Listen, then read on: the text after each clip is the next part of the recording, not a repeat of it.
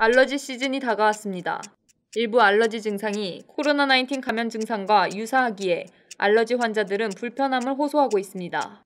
목이 간지러워 기침을 하거나 재채기를 하고 싶어도 공공장소에 있을 경우 사람들의 눈치가 보인다는 것입니다. 전문가들은 사람들이 알러지와 코로나19 증상의 차이를 아는 것이 중요하다고 말합니다. 코로나19의 경우 호흡기 바이러스임에도 불구하고 마른 기침을 하는 경향이 있습니다. 또한 발열, 호흡곤란, 근육통 등 증상이 나타납니다. 알러지는 이와 다르게 눈과 코가 가렵거나 콧물이 나고 재채기를 하게 됩니다. 전문가들은 만성 알러지 환자들의 경우 알러지약 복용과 더불어 마스크 착용이 크게 도움이 된다고 전했습니다.